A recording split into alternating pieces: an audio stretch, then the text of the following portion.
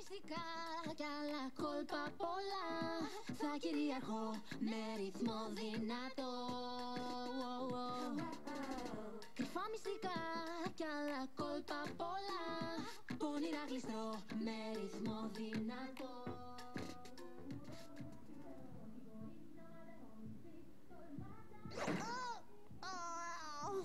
Παράτα τα Rainbow Dash. Το προσπαθείς εδώ και ώρες. Δεν πρόκειται να ανοίξει. Ίσως δεν έχει και μεγάλη σημασία ότι κλειστήκαμε εδώ κάτω.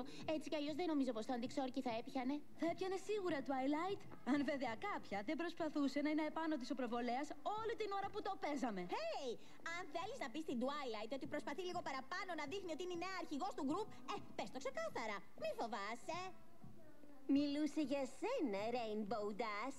Για μένα! Προσπαθώ να σιγουρέψω ότι το συγκρότημά μου θα είναι τόσο καλό όσο πρέπει να είναι. Αλλά γιατί δεν δούλεψε; Θα έπρεπε να ξέρω τι να κάνω. Πώς γίνεται να μην ξέρω τι να κάνω; Πώς γίνεται να απέτυχα έτσι; Μπορεί να ήταν δική σου ιδέα για το συγκρότημα, αλλά δεν είναι μόνο δικό σου Rainbow Dash. Εγώ γράφω όλα τα τραγούδια. Και εγώ γράφω τραγούδια, αλλά δεν μας αφήνεις ποτέ να τα παίξουμε Είχα τα καλύτερα ρούχα για να φορέσουμε. Πάλι με τα κοστούμια.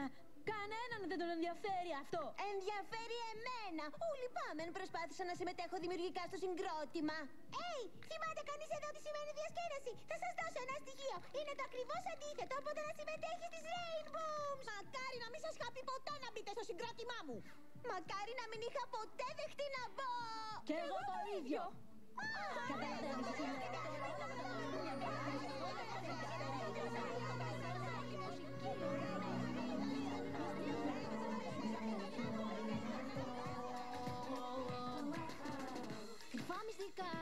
ella la culpa.